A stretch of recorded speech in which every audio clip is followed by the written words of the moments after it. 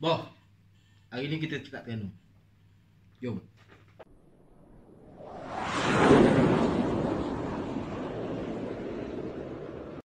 Hari ni special sikit. Kita akan tengok uh, pisah yang aku baru dapat. Baru tak baru lah. Lebih kurang dalam mungkin sebulan. Sebulan lebih sikit. Daripada Izzah Iskandar. Okay, Abang Izzah uh, buat pisah ni. Ini memang uh, tepuhan khas. Eh? Tepuhan khas. Uh, pisah ni kita pakai digital camo. Dia punya shift dia.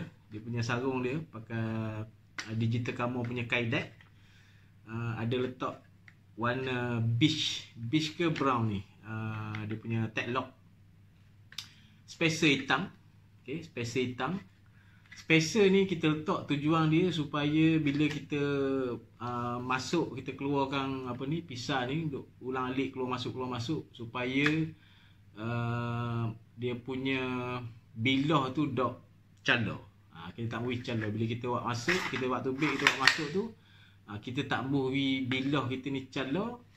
Jadi kita letaklah spacer, okey, spacer hitam ni. Sebelum kita tengok bilah dia, aku nak cerita pasal pisah ni. Bila Abang Izzab letak di di salah satu grup di Facebook, dia menjadi uh, bahan untuk scammer ambil gambar tu dan jual balik. So aku tengok dok kalau dok silap sekurang-kurangnya ada 5 posting menggunakan gambar yang sama untuk nak jual pisah ni. Ha? Nak jual pisah ni. Dan harga hak di kabar pun memang dok masuk akal, dok masuk akal. Sebab pisah ni dengan besi N90 ni, N90 ni biasanya kalau kepanjangan ni uh, saiz macam ni biasanya kalau kalau handmade dijual pada harga 7 ke 800 lah. Okey, 7 ke 800 untuk bilah lebih kurang macam gini. Jadi um, siapa ke tahap admin group tu terpaksa uh, letak rules baru. Rules baru maksudnya siapa yang nak jual pisah, parang semua ni kena ambil gambar dan letak detail nombor telefon dekat gambar tu supaya uh, untuk mengelakkan daripada pembeli ditipu. Okay. So satu pisah yang sangat popular untuk scammer uh, dalam bulan lepas gitu. Jadi berhati-hatilah nasihat aku kalau kata kita kita tak tahu kita walau macam info dalam grup tu kita boleh tanyalah ahli-ahli grup supaya kita tak kena tipu. Ha, tu tu sangat sangat penting ya. Okey. So kita teruskan kepada bilah ni. Aku dah cerita pasal sarung dia tadi. Okey kita tengok bilah. Okey ni bilah dia. So bentuk dia bentuk duku candung eh. Bentuk duku candung tapi ni uh, kategori mini lah. Kategori mini. Uh, kategori mini sebab dia punya mata ni tak sampai 10 inci. Okay, mata dia ni aku buat uh, 8 inci je. 8 inci. Dia punya tebal, okay, tebal bilah ni 3 inci setengah. Okay, 3 inci setengah handle 5 inci ha, 5 inci sedap-sedap lah maksudnya daripada hitam ni hot hitam ni uh, 5 inci so sini dalam 4 inci setengah ke 4 inci gitu lah yang betul-betul kita nak pegang. So memang sedap-sedap ngangang tangan. Ok. Uh, HRC HRC Abang Izzah set 58.5 HRC 58.5 eh. Uh, lebar dia ok lebar dia sebab dia tak sama eh. Dia tak sama. Hot ni belah belah bawah ni dia kecil sikit belah atas ni dia besar sikit. Jadi belah bawah ni ialah um, seichi suku. Seichi suku. Ah ha, hok belah kecil ni kan. Hok belah kecil ni seichi suku.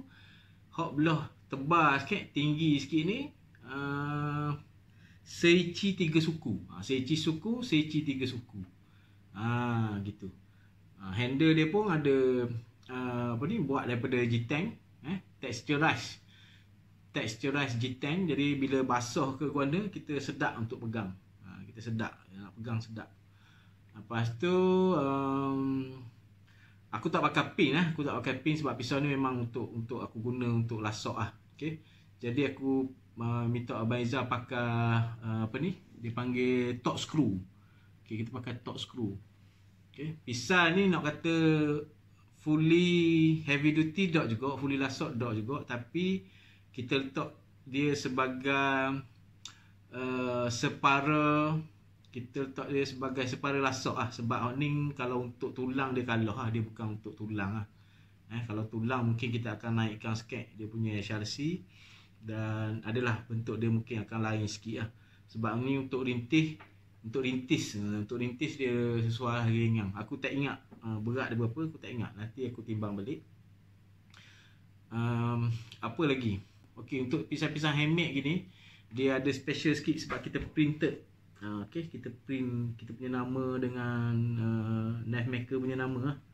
eh kita ada print. Uh, cok nama. So ni aku letak K ni nama arwah ayah aku. Uh, K tu nama aku lah. Eh so setakat tu dulu terima kasih uh, kerana menonton channel Keroka Explorer. Jangan lupa untuk like, komen dan subscribe. Dan juga uh, share video ni sampai kita jumpa lagi sampai kita jumpa lagi. Salam yang selut assalamualaikum warahmatullahi wabarakatuh. Bye bye gang